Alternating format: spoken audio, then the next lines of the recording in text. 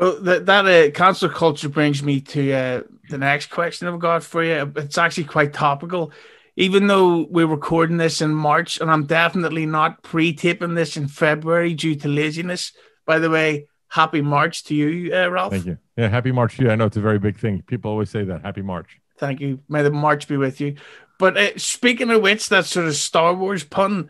Uh, just today, the latest cancel culture victim was Gina Carano who, by mm-hmm. the way, I don't care if she's gained weight. I'd fuck this shit out of her. I, you know, it's funny. I don't even know what she said. She said something about abortion or something. I don't even know what it was. I, I'm so again, all of that stuff. It's so stupid because if you can just, if you shut your mouth, whatever her name is, uh, Gina, is that her name? Oh yeah, yeah. If you just shut your mouth for a few weeks and not reply and not retaliate, they're going to move to somebody else. It happens every time. They're angry at you for a couple of weeks. Don't say anything they'll move on to somebody else and it's over. It's so crazy.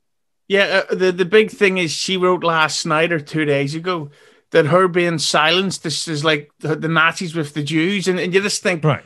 Like, uh, but this is one of the, not that I'm saying she should be cancelled, but at the same time, and of course I'm saying this from a distance because she's a cage fighter.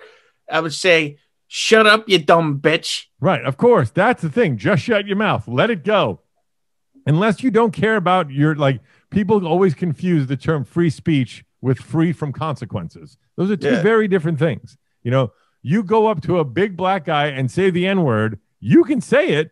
There's nothing against it, but whatever happens to you is on you. You know, I mean, that's what it is. It's free. It's free speech, but not free speech without consequences. What what's what's uh, the N word?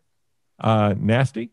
Yeah, well, you shouldn't say that to African American people of whatever yeah. identity. But I think in general, like like anybody that works in a high profile job where you don't want to get fired, shut your fucking mouth. And also to say Nazis now, if you're if you think you're being smart by using Nazis in a pro way, you're an idiot. End of yeah. story. There's no way that like that. There's a senator that just said it recently. She said something about Hitler had a good idea. Do you remember that? That was like uh, not that long ago. That because he was re- he knew how to reach the youth. That was what she said. She's like Hitler was smart with don't use Hitler in a positive light. That you just you shouldn't have to tell someone that in advance. Don't praise Hitler. Although my favorite joke is I always say is that um, a lot of people don't realize this, but Hitler was an artist. And then the joke is, but he also liked to paint. It's a good joke. It's very racist.